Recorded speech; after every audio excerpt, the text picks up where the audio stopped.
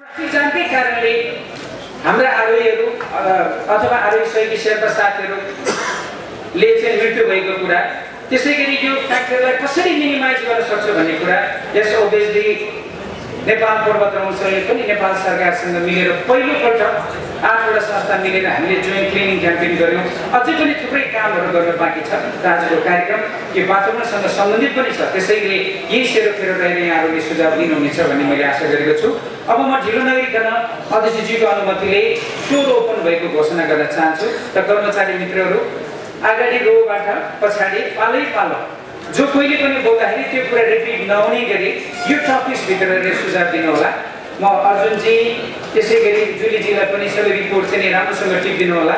यो हामी नेपाल सरकारलाई बुझाउनेछौँ। यहाँसँग पनि सेयर गर्नेछौँ। र आजको यो कार्यक्रमको अवधिभर हामीले पनि आज यो भिडियो पनि यानि कि भिडियो रेकर्ड गर्नेछौँ। सबैले कन्स्ट्रक्टिभ सुझाव दिनुहुन पनि म विनम्र गर्न गर्दछु र फेरि आजको यो कार्यक्रममा यो पनि निवेदन गर्न चाहन्छु आलोचनात्मक होइन अलिक कन्स्ट्रक्टिभ खालको सुझाव दिइदिनुहोस् यो नेपाल सरकारसम्म पुग्ने।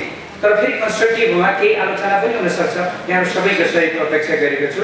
फेरि निवेदन गर्न चाहन्छु floor has been open please take you turn by turn traffic जामको बारेमा धेरै कुराहरू अरू त होइन मित्र राष्ट्रले धेरै प्रचार गरेको हुनाले अलिकति हाम्रो टुरिज्म सेक्टरमा रहेको सङ्घ संस्थाहरूले यो बारेमा व्यापक रूपमा छलफल गरेर यसको निगम निकाल्नु अति आवश्यक छ।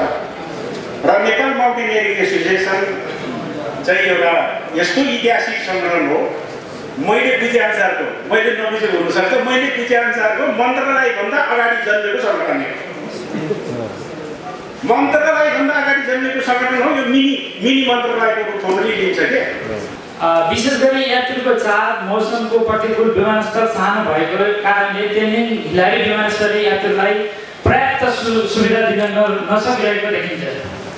लुक्लादेखि सगरमा सगरमाथाको आधा सिरीसम्म मानिस पैदल हिँड्ने बाटो सरकारी तर्फबाट मर्मत सम्भार नभएकोले मानिसलाई आवत जावत गर्न कठिन भइरहेको देखिएको छ।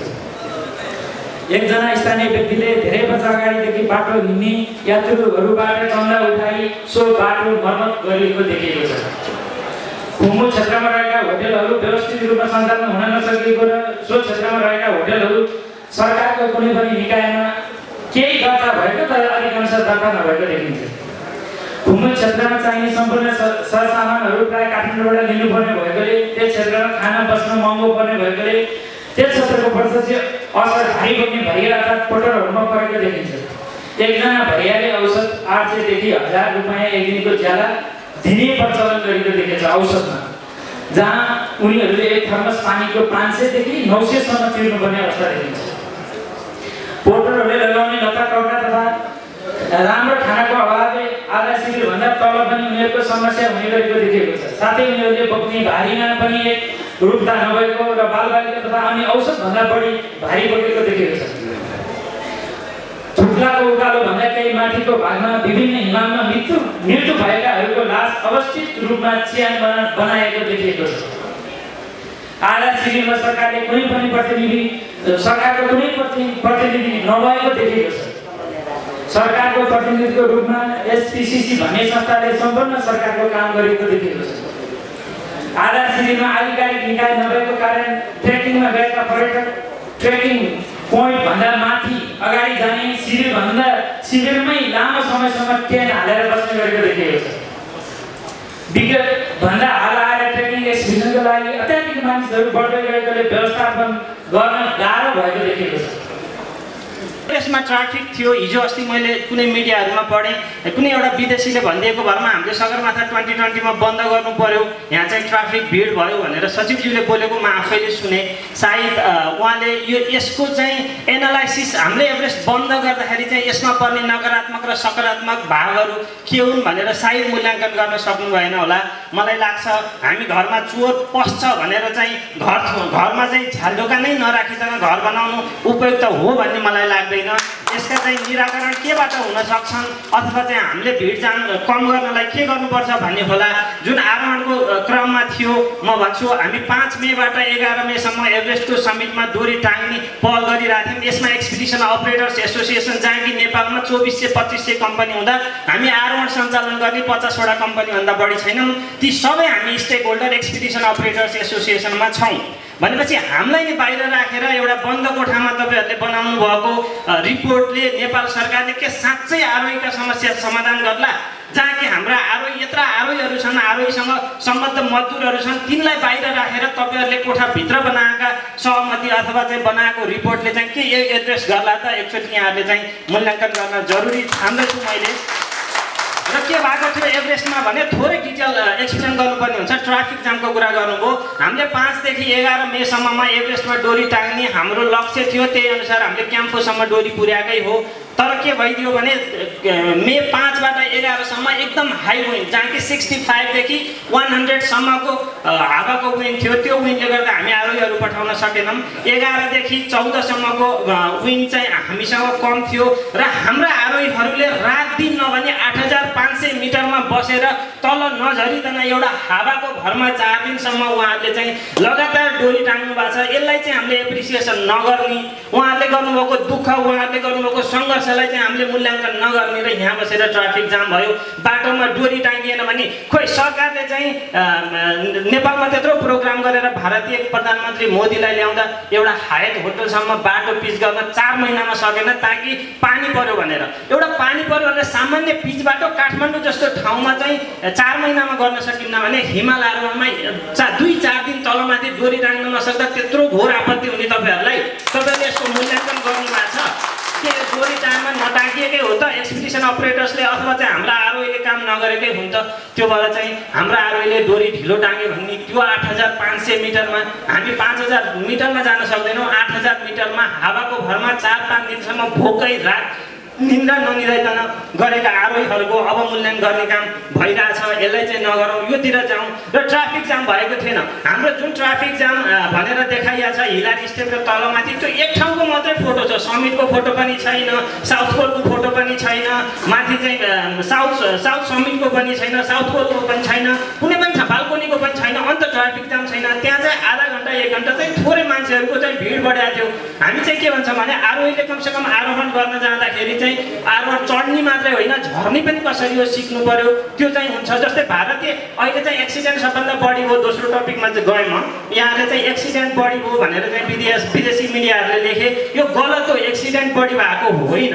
एभरेस्ट जस्तो ठाउँमा अथवा हिमाल आरोहण भनेकै यहाँले बुझ्नुभयो एडभान्चर एक्टिभिटिज एडभान्चर एक्टिभिटिजमा हाई रिक्स भएको एडभान्चर एक्टिभिटिज भनेको आरोहण हो। हाम्रा आरोही अथवा हाम्रा शेर्पाहरू म मरेँ भने चाहिँ मेरो मेरो म मृत्युपतिको क्षतिपूर्ति दिनु भनेर जो आफ्नो मृत्यु पत्रमा साइन गरेर जान्छ के त्यो मान्छे चाहिँ मर्नै चाहन्छ त? मर्नैलाई गएको हो त? तपाईँ हामी हेरौँ न स्पेन जस्तो राष्ट्रले एउटा रेडबुल गेममा चाहिँ वर्षमा उसले पच्चिसजना मान्छे मार्छ दुई सयजना मान्छे अङ्गभङ्ग हुन्छन्। तर त्यसलाई निरन्तरता दिएको छ के भने उसको कल्चर हो उसको पहिचान हो उसको आम्दानी हो। मान्छे हाम्रो एभरेस्ट जस्तो ठाउँमा कुनै हाम्रो आरोही मर्यो त एकजना छैन भनेको हाम्रा आरोही चाहिँ क्वालिफाइड छन् एक्सपिरियन्स छन्। जुन विदेशीहरूको मृत्यु भयो अधिकांश के देखिन्छ भने म गएको समय भारतमा पनि अलिकति भ्रमण गरेँ। त्यहाँ पनि अधिकांशको क्वेसन यही थियो कि आरोही किन बढी मरे? भन्दाखेरि हामीसँग एक्काइसवटा आरोही मरेका छन्। यो सिजनमा माउन्टेनमा एक्काइस मध्ये एघारवटा इन्डियन छन्। भनेपछि इन्डियनकै बढी मृत्युदर किन हुन्छ त? भन्दाखेरि उनीहरूको चाहिँ कस्तोसम्म देखियो भने भएको सम्पत्ति जति ब्याङ्क ब्याङ्कमा चाहिँ होल्डिङ गरेर चाहिँ लोन लिएर आउने अनि यहाँ आएर आरोहण गर्न सकेन भने उसको लोन गायब हुन्छ। त्यहाँको गभर्मेन्टहरू के भनिदिने भने त आरोहण गरेर आइस भने चाहिँ हामी तँलाई पैसा दिन्छौँ। भनिदिएपछि मान्छे आउँछ ऊ ऊ त या त ऊ मरेर जान्छ या चढेर जान्छ। यो यो अवस्थाले चाहिँ इन्डियन पर्यटकहरू अलिकति बढी मृत्यु भएका हुन्। यसमा चाहिँ यहाँहरूले चाहिँ नोट गरिदिनु होला र सायद इन्डियन गभर्मेन्टलाई कुनै तरिकाले तिम्रो आरोहीहरूसँग चाहिँ इकोनोमिक कन्डिसन छैन भने यो झुटा आश्वासन नदेऊ। यसले पनि एउटा आरोहणको मृत्युदर बढेको हो भन्ने कुरा चाहिँ सायद राख्न जरुरी छ। दोस्रो गार्बेजको कुरा गर्नुभयो यहाँहरूले। हो ठिक छ एभरेस्टमा फोहोर भएकै हो। यो सिजनमा केही हामीले क्याम्प वान अथवा क्याम्प टू अथवा बेस क्याम्पका फोहोरहरू धेरै धेरै तल झार्न सके सकेका छौँ। त्यो फोहोर गरेको हामी एक्सपिडिसन अपरेटर्सले हो। हामी आरोहीले हो हामी दोस्रालाई जो अब्जस दिँदैनौँ। तर यहाँहरूले हेर्नु पऱ्यो नाइन्टिन फिफ्टी थ्रीबाट आजसम्मको फोहोर आजसम्मको गार्बेज हामीले बेस क्याम्पमा त छोडेका छैनौँ क्याम्प वान क्याम्प टूमा छोडेका छैनौँ। र यहाँहरूले भन्नुभयो अक्सिजन बोक्दा पैसा आउँछ बोतल बोक्यो तल झाऱ्यो। तपाईँले देख्नु भएको छ त साथी के तपाईँलाई अनुभव छ? तपाईँको शेर्पाले भन्यो कसले भनेर यो प्रश्न उठाउनु भयो कि शेर्पाले अक्सिजन बोक्छ गार्बेज छोड्छ भनेर? तपाईँसँग के अनुभव हुनु पऱ्यो कि तपाईँको आरोहीले भनिदिनु पऱ्यो यस्तो यो अर्काले लेखिदिएको गीत नगाउँ हाम्रो आरोहीलाई नगरौँ हाम्रो मिडियाले गलत नलेखौँ हाम्रो यो पेसा हो हाम्रो यो धर्म हो यो हाम्रो बाँच्ने आधार हो। नेपालमा चाहिँ धन्न धन्न तिन सय पचासी पर्यटक आउँदा हामी एघार सय आरोही तथा व्यवसायी प्रत्यक्ष यसबाट लाभान्वित छौँ। हाम्रा दसजनाको दरले पचास हजार हाम्रा हाम्रा परिवार पालेका छन् ती केटकेटी पढाएका छौँ हाम्रा बच्चामाथि हाम्रा बच्चाका पेटमा लाग्दो नखानिदिनुहोस् यो मिडियाहरूले गर्ने काम होइन विदेशी मिडियाले भन्दा स्वदेशी मिडियाले नेगेटिभ बढी लेखिदिनु भएको छ। आरोही भनेकै जोखिम हो मान्छेको मृत्यु हुन्छ हामी मर्छौँ भनेर साइन गरेर गएका हौँ हामी मर्न रेडी छौँ भने यहाँलाई के को आपत्ति? त्यो भएर यो एक्सिडेन्ट भयो एभरेस्टमा चाहिँ बढी मान्छे मऱ्यो हो घटाउनुपर्छ हामी कोसिस गर्छौँ। राज्यले ट्रेनिङ दियोस् हामी ट्रेनिङ लिन कोसिस गर्छौँ हामी आफैले माग गरेका छौँ। एउटा थ्रेस होल्ड राखियोस्। मिनिमम पनि हुन हुनसक्छ व्यवसायले साइडले किन विरोध गर्यो। तर हामी भन्न सकौँ न त त्यसो भए एक्सपिडिसन अपरेट नै गर्ने हो भने राज्यलाई दुई करोड ब्याङ्क ग्यारेन्टी राख्नुपर्छ भनौँ न त। हामी पनि त्यसमा राजी छौँ। हाम्रो प्रोपर्टी ब्याङ्कमा लगेर कोल्याटस राखेर चाहिँ हामीले पैसा तिर्ने होइन कि? हामी सरकारलाई हाम्रो भएको धन सम्पत्ति लगेर जिम्मा लाएर हामी व्यवसाय सञ्चालन गर्न सकौँ यो चाहिँ मेरो गार्बेजको कुरोमा म थोरै जोडेँ। अरू मेरो विषयवस्तु सिद्ध्याएँ। गार्बेजमा के हुन्छ भने हामी आरोहीहरूलाई अन्तिम अवस्थासम्म लिएर क्याम्फोबाट समिटमा जान्छौँ र समिटबाट झार्दा के हुन्छ भने क्याम्फोमा हाम्रो अन्तिम बसाइ हुन्छ। त्यसपछि आरोहीहरू एकदम थाकेको हुन्छ मान्छे मर्न लागिसकेको हुन्छ। मान्छे मारेर चाहिँ हामी फोहोर ल्याउन सक्दैनौँ। हामी हाम्रो आरोही मर्न दिएर हामी एभरेज सफा गर्न सक्दैनौँ। मान्छेको ज्यान ठुलो हुन्छ गार्बेज ठुलो हुँदैन। त्यो भएर चाहिँ गार्बेजमा मेरो एउटा के छ भने अब यो गार्बेज फी भनेर नराखौँ गार्बेज डिपोजिट भनेर नराखौँ। त्यसको ठाउँमा एउटा फी दिउँ। स्प्रिङ सिजनमा एभरेस्टमा यसै त जानुहुन्छ। त्यसमाथि क्लिनिङ क्लिनिङ ग्रुप जति पनि सबै स्प्रिङमा राखिदिँदा आरोही बढी भए। त्यसलाई कन्ट्रोल गरौँ। त्यो पनि एउटा कन्ट्रोलको विषय हुन्छ। यो एभरेज सफा गर्ने जिम्मा हामीलाई बढी पैसा चाहिँदैन। आरोही चाहिँ एउटा मिनिमम न्यूनतम रकम उठाउन दिनुहोस् एभरेस्टको जिम्मा गर्ने सफा गर्ने जिम्मा एक्सपिडिसन अपरेटर्सले दिन तयार छ। म व्यवसायको तर्फबाट लिन तयार छु।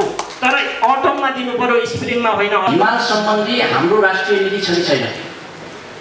त्यो नीतिलाई फलो गर्ने एभरेस्टदेखि हरेक हिम श्रृङ्खलासम्म त्यो फलो गर्ने खालको हाम्रो राष्ट्रिय सोच छ कि छैन? सबभन्दा मेरो पहिलो प्रश्न। मैले दुई चार वर्षदेखि प्रश्न गर्दै हिँडिरहेको छु। तर त्यो प्रश्न गर्दाखेरि यहाँका मन्त्रालयका मन्त्री र सचिवहरूसहितका पोलिटिकल लिडरहरूले बाहिर भाषण गर्छ। तर हिमालय सम्बन्धी हाम्रो नीति छैन सबभन्दा पहिला हिमालय नीति हाम्रो स्पष्ट हुनु पऱ्यो पहिलो। दोस्रो अब यो ग्रेट हिमालयन हामीले भनेको छौँ सगरमाथामा ट्राफिक जाम सगरमाथामा ट्राफिक जाम नभएर कहाँ सिंहदरबारमा जानुहुन्छ त?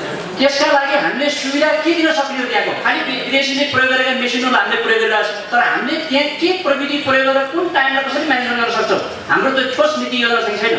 त्यो बारेमा हाम्रो ठोस नीति योजना बन्नुपर्छ अर्को मेरो अलि अलिक फरक। यो मधुर सेक्टर र खास गरी आठ हजार माथि हिमाल चढेका सबै हिमालय साथीहरूलाई म सलोट ठोक्छु। उहाँहरूको परिचयको लागि राज्यले के दिएको छ? मेरो प्रश्न के एउटा सिपाहीको ठुलो परिचय हुन्छ कर्मचारीको ठुलो परिचय हुन्छ। राष्ट्रको गौरव संसारमा चिनाउने ती हजार हिमाल आरोहीहरूको राष्ट्रिय परिचय के हो? त्यो राज्यले दिनुपर्छ।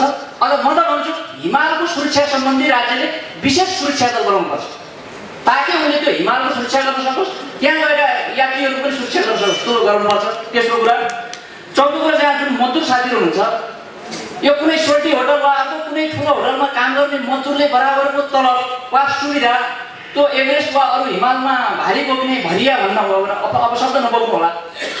उहाँले सुविधा पाउनु भएको छ कि छैन? त्यसको बारेमा राज्यले के नीति लिएको छ योजना के लिएको छ?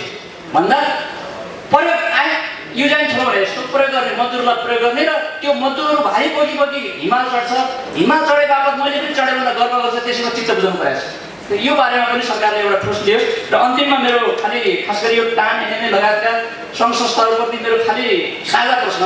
अलिक गम्भीर प्रश्न पनि हो यसमा मैले प्रश्न उठाउँदै हिँडेको हिमालय सम्बन्धी यो देशका राज्य सञ्चालकहरू खास गरी अहिले केपी सहितका सबै मन्त्रीहरू र सबैलाई मेरो एउटा प्रश्न के भने मध्यबाडी लोकमार्ग सम्भव छ हिजो महेन्द्र मार्ग सम्भव भयो हामी ग्रेट हिमाल भनेर ग्रेट हिमालको एउटा ग्रेट प्रोजेक्टको रूपमा आम हिमालय रेलको सबभन्दा मुख्य पुँजी नेपालको पुँजी हिमालय पुँजी हो अरू भनेको बेचेर बुझाउने पुँजी हो त्यस सम्बन्धी हिमालयमा ग्रेट हिमालय केबल कार सहितको एउटा हिमालय नीति ल्याउनुपर्छ र आम मजदुरहरूलाई त्यसको चाहिँ एउटा सेक्युरिटी सहितको सुरक्षाको व्यवस्था गर्नुपर्छ र संसारका सबै मान्छेहरू हिमालमा आराम गर्ने ठाउँ बनाउनुपर्छ आनन्द लिने ठाउँ बनाउनुपर्छ रेस्ट गर्ने ठाउँ हुनुपर्छ र सबै पैसा ल्याएर बुझाउने ठाउँ बनाउनुपर्छ त्यो हिमालयसँग सामुद्रिक नीति जस्तो हिमालय नीति ल्याउनुपर्छ। हामीले थाउजन्ड एटदेखि उठायौँ नेपालमा लेजेन्ड अफिसरहरूको अवस्थिति सुधार भनेर भन्यो म टाइमको दिदी उपाध्यक्ष थिएँ।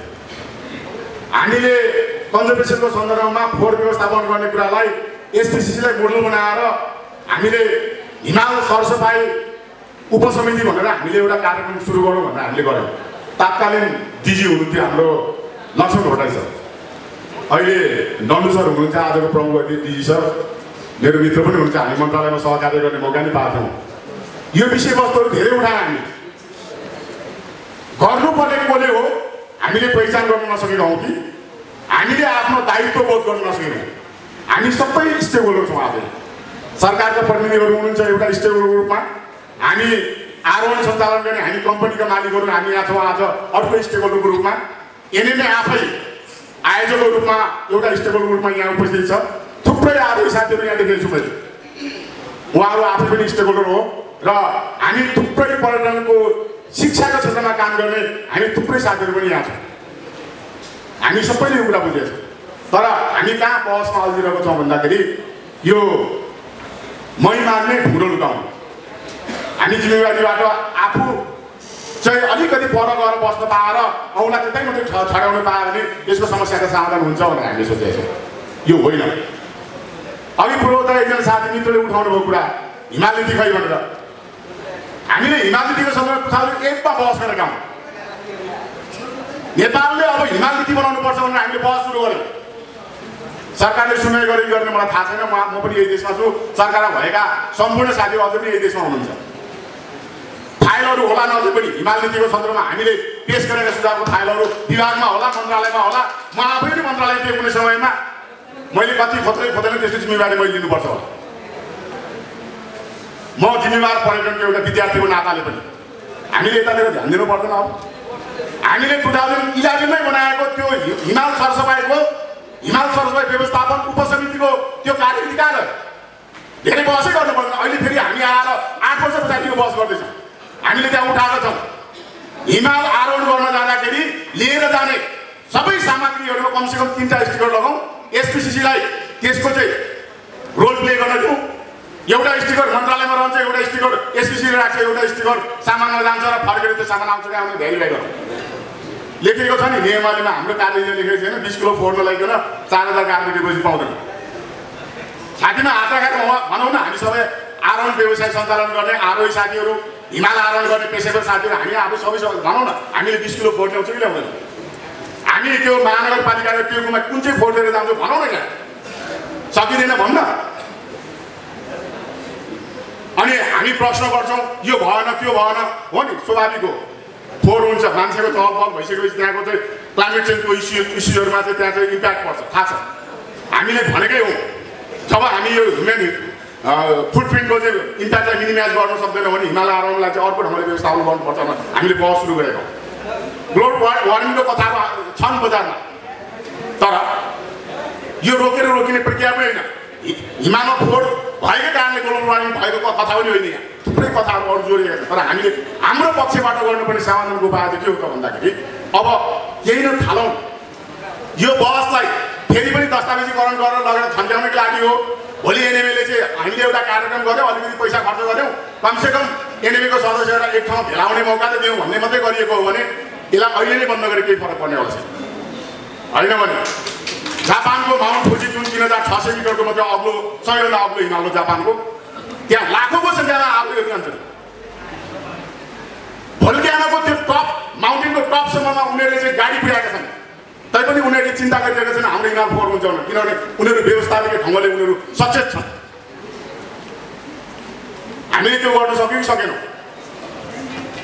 यो सन्दर्भमा मैले जोड्न खोजेको विषय हो चाहिँ हामीले सम्पर्क अधिकारीहरूको व्यवस्थापन किन गरेनौँ?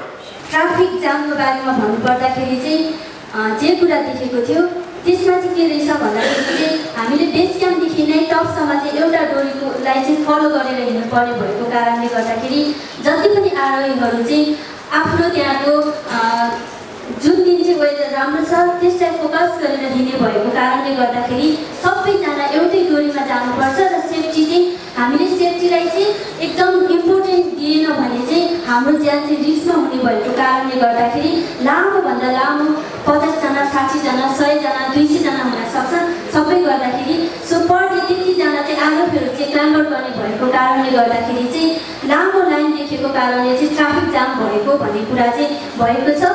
र यसलाई चाहिँ हामीले ट्राफिक जाम गर्न मिल्दैन भन्न म चाहिँ अनुरोध गर्न चाहन्छु। किनभने यो चाहिँ अहिले मात्रै होइन मसँग चाहिँ फोर टु थाउजन्ड एटिनको पनि धेरै धेरैभन्दा धेरै फोटोहरू मसँग कलेक्सन छ। सो योभन्दा पनि अहिले जति पनि हामीले फोटोमा देखेका त्यति आरोहीहरूको चापभन्दा पनि बेसी पनि रहेको छ। त्यसले गर्दाखेरि चाहिँ कतिपय चाहिँ वेदर नराम्रो भएको कारणले चाहिँ क्याम्प थ्री क्याम्प फोरबाट चाहिँ फर्केर रेस्ट गरेर चाहिँ फेरि जाने गरेको पाइन्छ।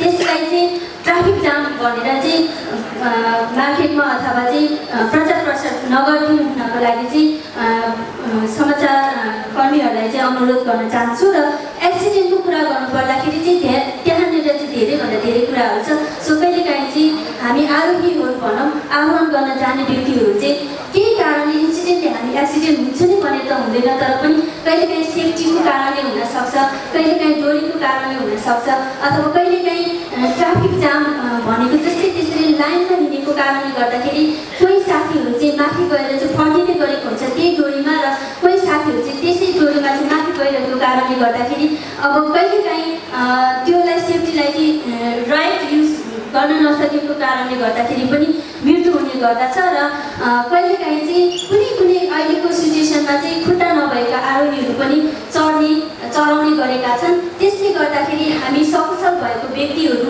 हिँड्न सक्ने भन्दा पनि त्यस्ता व्यक्तिहरूले गर्दाखेरि चाहिँ अलिकति लामो समय लागेको कारणले गर्दाखेरि चाहिँ अक्सिजनको कमीले गर्दाखेरि अक्सिजनको ठाउँमा नपुग्नेसम्म चाहिँ त्यो अक्सिजनले काम गरेन भने चाहिँ जति पनि एक्सिडेन्ट हुने गरेका छ मृत्यु हुने गरेका छ त्यसलाई चाहिँ म आफूले देखेको र बोकेको कुराहरू गर्न चाहन्छु र गार्बेज डिपोजिटको कुरा गर्नुपर्दाखेरि चाहिँ हामी आरोही हामीले बिस पच्चिस लाख तिरेर चाहिँ हामीले कुनै कम्पनीलाई तिरेर चाहिँ आरोहण गर्न गएका थिए।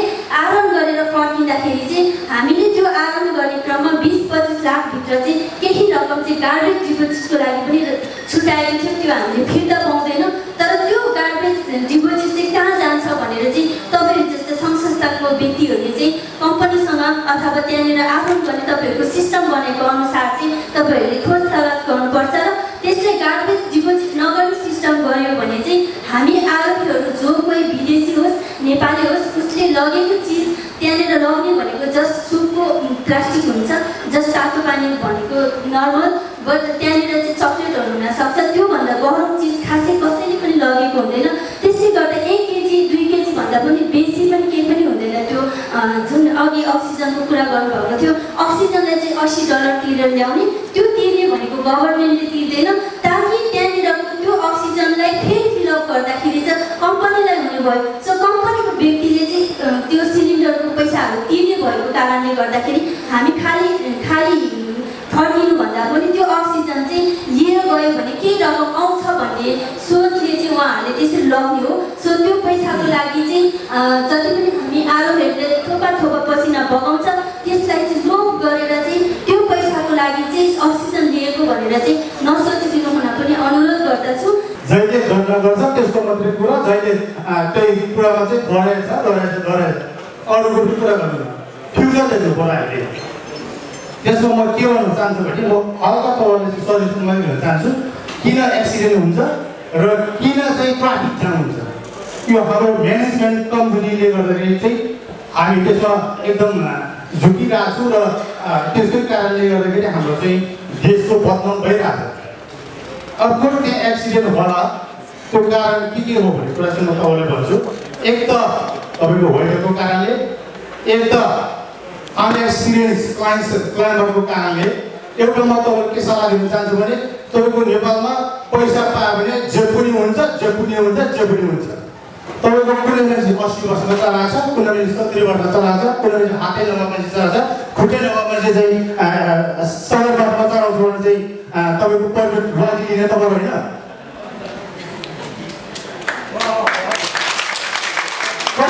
कति कति आज लिनु सरकारले? एउटा मान्छे खुट्टा भाँचेको हुन्छ एउटा मान्छे हात भाँचेको हुन्छ त्यस्तो मान्छेले म सगरमाथा चलाउँछु भन्ने खालको के हो यो- के हो उसले गर्दाखेरि त्यहाँ एकदम तपाईँको सक्षम मान्छे पनि त्यहाँ ट्राफिक जान पर्छ अर्को चाहिँ वेस्ट दुईवटा यो एकदमै सिम्पल म एउटा प्रशिक्षक पनि भन्नु मात्रै म मेरो विद्यार्थी जहिले पनि भन्छु थिङ्क सिम्पली सिम्पल हामीले सरल तरिकाले सोच्यो भने सरल तपाईँको उपायहरू so we already know the problems तर आज हामी प्रब्लमभन्दा पनि सल्युसन तर्फ लाग्नुपर्छ भन्ने मन लाग्छ।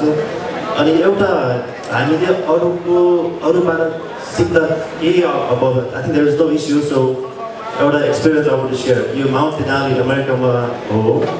त्यहाँ एउटा क्लाइम्बिङ रेन्जरको एउटा सिस्टम छ।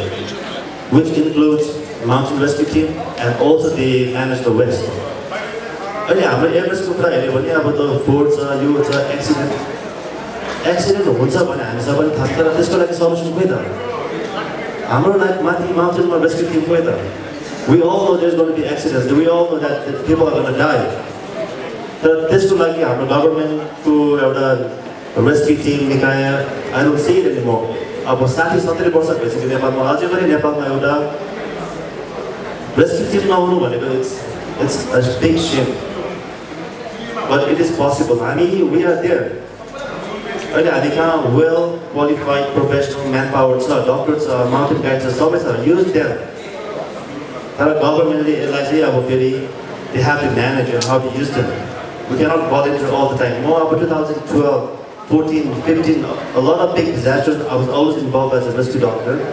म हिमालमा भएको कारणले हो हाम्रो माउन्टेनको एउटा कोडहरू एथिक्स हो अरूलाई समस्या पर्दाखेरि हामीले माथि गर्नैपर्छ but I cannot volunteer all my life त्यसको लागि एउटा डेडिकेट टिम हुनैपर्छ यो in case if you have this team मसँग I have a concept paper मैले टु थाउजन्ड सेभेन्टिन एटिन नाइन्टिनमा धेरैसँग सेयर गरिसकेँ है gave this concept paper to many, many departments. तर nobody actually took any action.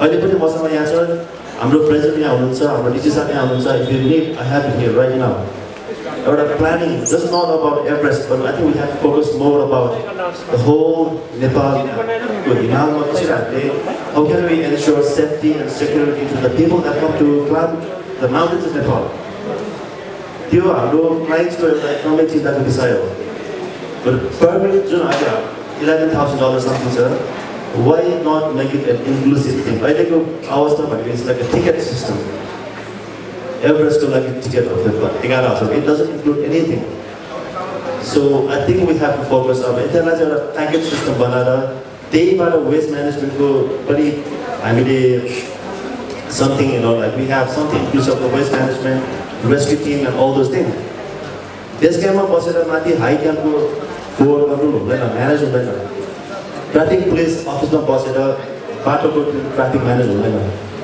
they has to be somebody on the spot to regulate all those things मेरो विचारमा यिनीहरू like I can मलाई सबै कुरा त थाहा छैन तर मैले देखेको जति पनि मैले अनुभव गरेको एक्सपिरियन्स गरेको जुन कुरा आई थिङ्क इज अरू देशमा त्यो काम गरिरहेको छ भने it's already a working model and working system there नेपालमा हामीले कपी गऱ्यो भने कुनै आपत्ति छैन। नेपाल सरकारले तपाईँको आठ दस हजार आरोहीहरूको सामाजिक सुरक्षाको ग्यारेन्टी गर्न सक्दैन। अब समग्र कृषि प्रधान मुलुक भन्छ कृषिमा चाहिँ बत्तिस अरबको चाहिँ तपाईँको चामल मात्रै विदेशबाट ल्याउन सक्छ। संसारभरि हाम्रा एक्सपर्टिजहरू सप्लाई गर्न सक्ने हाम्रो यो क्षेत्रका आरोहीहरूको सम्मानमा एउटा सामाजिक सुरक्षाको ग्यारेन्टी आज किन गर्न सक्ने देशमा जतिसुकै राजनीतिक परिवर्तनहरू भए पनि आखिर हामीले हाम्रो मांसपटलमा त्यो हिसैकै जगडीको अवस्था र दिए भने पाइन्छ भन्ने हाम्रा आरोहीहरूलाई किन तपाईँको सधैँ चाहिँ तपाईँको यो अन्तर्क्रियाहरू नगर्ने पोइन्ट आउट गर्ने यसलाई कार्यान्वयनको पक्षमा नलाने र यसलाई नीति नियममा किन चाहिँ हामीले इन्क्लोज गर्न सक्दैनौँ? त्यसको लागि अब यो ढिला भइसकेको छ। यसलाई ढिला नगरिकन अब सम्बन्धित सबै पक्षहरूले अब जुझारुका साथ लाग्नुपर्छ जस्तो मलाई लाग्छ। त्यसो गर्न सकियो भने हामीले हाम्रा आरोहीहरू र हाम्रो हिमालप्रति हामीले गर्व गर्ने दिनहरू हुनसक्छ। नत्र भने हामीले आरोही होइन विदेशी आरोहीहरू लिएर आएर देशमा चाहिँ आरोहण गर्ने जिम्मा दिन सक्ने दिनहरू पनि आउन सक्छ। नेपाल सरकारले यसपालि देखिएका विभिन्न किसिमका कृतिहरूलाई समेटेर सुझाव सुझाव दिनका लागि एउटा स्टडी टिम गठन गरिसकेको छ र त्यही स्टडी टिमले एनएबीसँग टानसँग अरूसँग पनि र रायमा आएको छ र त्यही रायको सिलसिलामा मलाई लाग्छ यो एनएमएले यो आजको कार्यक्रम यहाँहरूलाई आयोजना गर्यो हामीलाई आयोजना गर्यो। सर्वप्रथम यसरी एक्सपर्ट साथीहरू व्यवसायी साथीहरूलाई सँगै राखेर एकै ठाउँमा राखेर सुझाव सङ्कलन गर्ने जुन प्रक्रिया एनएमएले सुरु गरेको छ यो सराहनीय छ भन्ने मैले जानेको छु। मलाई दुई तिनवटा कुराहरू यस सन्दर्भमा याद आउँछ।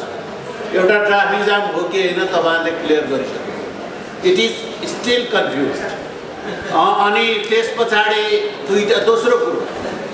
जामका कारणले गर्दा मान्छे मरेको हो कि होइन? स्टिल कन्फ्युज अनि त्यस पछाडि के म्यानेजमेन्ट सही थियो? म्यानेजमेन्ट सही थियो। इट इज क्वेसनेबल भन्नुको अर्थ के हो भने म्यानेजमेन्ट सही छैन। र अब इन्भाइरोमेन्ट सम्बन्धी के गर्ने? इन्भाइरोमेन्ट म्यानेजमेन्ट सम्बन्धी के गर्ने? र इन्भाइरोमेन्ट म्यानेजमेन्टका कुराहरूमा तपाईँ हामी सबैलाई थाहा छ। हाम्रो अनुशासनदेखि लिएर हाम्रो स्पिरिटदेखि लिएर हाम्रो नैतिक धरातलदेखि लिएर हाम्रा सम्पूर्ण कल्चरका कुराहरू हाम्रो यसभित्र आउँछ हामी यसमा कति जिम्मेवार छ। हामी प्रोफेसनल्ली एजेन्सी अनि त्यसबाट माउन्टेन गाइड गाइडबाट कुद्छौँ शेर्पा साथीहरू र विदेशी क्लाइम्बरहरू स्वदेशी क्लाइम्बरहरू हामी यसमा कति जिम्मेवार छौँ? यो त टपिक के हुनसक्छ भने आत्मसमीक्षाको टपिक हुनसक्छ। यसमा हामी कति शुद्ध छौँ? अब त्यो भएको कारणले गर्दा यी सबै विषयहरूलाई समेटेर साथीहरूले आन्सर आफैभित्र खोजेर दिइसक्नु भएको छ। अब मैले धेरै बताइराख्नु जरुरी छ। हामी डेमोक्रेसीमा छौँ र हदसम्म डेमोक्रेसीको उपयोग गरिरहेका छौँ। र हामीले कहिलेकाहीँ आफूलाई पनि बिर् बिर्सिन्छौँ हाम्रो दैनैतिक धरातल पनि बिर्सिन्छौँ सबै कुरा बिर्सिन्छौँ र मलाई के लाग्छ भने हामी आफू त आफू तरिकाले आफ्नै आत्माबाट सोध्यौँ भने मिस्टेक हामीभित्रै छ। खोजी गरौँ। अब रह्यो सरकारले। के गर्नुपर्छ भनेर मैले त हेर्नुहोस् आएका दिनदेखि हाम्रा कानुनहरू डिफेक्ट छन् हाम्रा नीतिहरू डिफेक्ट छन् हाम्रा व्यवहारहरू डिफेक्ट छन् हाम्रा कार्यविधिहरू डिफेक्ट छन् भनेर मैले सबैलाई संशोधित प्रताप मन्त्रालयमा पठाइसकेको छु। नेपाल सरकार समेत पठाइसकेको अवस्था हो। मैले देखेसम्मका कुराहरू अब यहाँ सुझावहरू तपाईँहरूले आएको छ लिखित पनि छ मौखिक पनि छ। तपाईँहरूले बोलेसम्मका कुराहरू सबै मैले टिपेको छु। मलाई लाग्छ अब आउने साथीहरू टिपिराख्नु भएको छ र यो रिपोर्टको रूपमा सुझावको रूपमा एनएमएले हामीलाई दिन्छ। हामी स्टडी टिममा छौँ।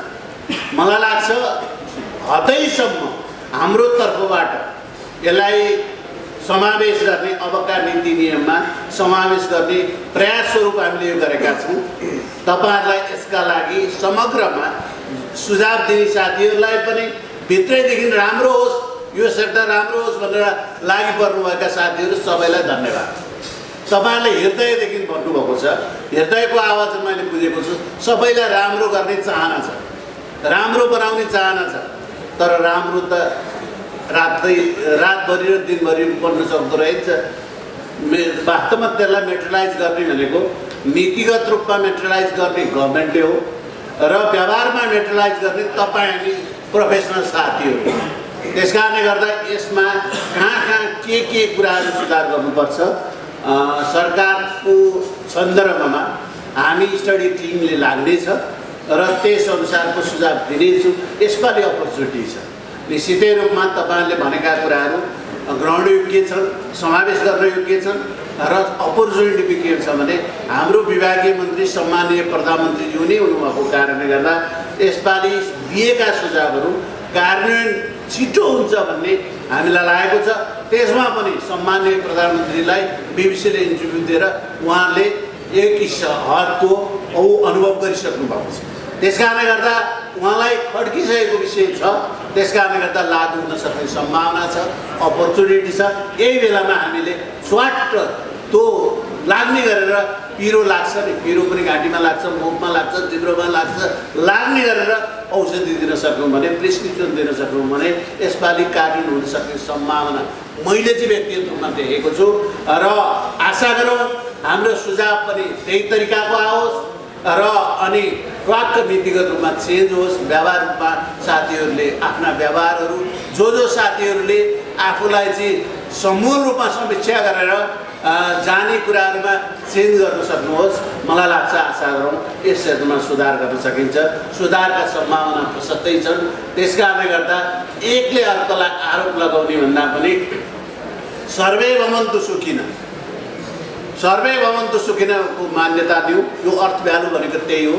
र लोकका समस्ता सुखिनो भवन्तु भन्छ नि संस्कृतिमा सबै लोकका मान्छेहरूको सुखी होस् भन्ने सन्दर्भमा हामी लागौँ। मलाई के लाग्छ भने फलनले गर्दाखेरि भएन भन्नुभन्दा पनि हामी सबै लागेर कल्याण गरौँ सबैको कल्याण गरौँ यसैमा हिँड्छ साथीहरूले भन्नुहुन्छ हिमाल त धेरै छन् नेपाल चार सय चौधवटा हिमालको प्रोफाइल नेपाल पर्वतारोहणसँग अ, नेपाल सरकार मिलेर बनाउँदैछ किन एभरेस्टको आयो भन्ने जहाँ समस्या हुन्छ जहाँ घाउ हुन्छ त्यसमा औषधि हुन्छ आजको यो कार्यक्रम भनेको नितान्त बुद्धिजीवी पर्यटनसँग सम्बन्धित इन्टरप्रेनर र विशेष गरेर नम्बर वान प्रायोरिटी आरोहण गर्ने आरोही साथीहरूको लागि हुनसक्छ घरघरै आरोहण गरेर फर्केर पनि थकै लागेर पनि रिस उठेको होला। आक्रोश पनि पोखाउनु भएको छ इनपुट पनि आएको छ। आजको यो भोइस भनेको नेपाल पर्वतन सङ्घले राखेको यहाँहरूको हितको लागि। किन भने हिमाल विगतदेखि नै चढ्थ्यो।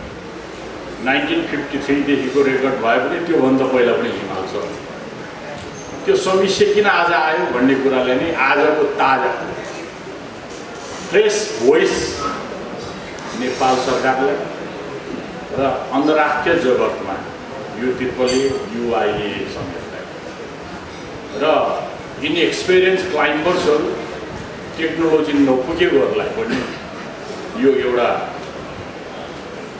माइल स्टोन लेखेको एउटा सन्देश पठाउनुको लागि यसलाई एक नम्बरमा आरोहीहरूले गौरव गर्नुपर्छ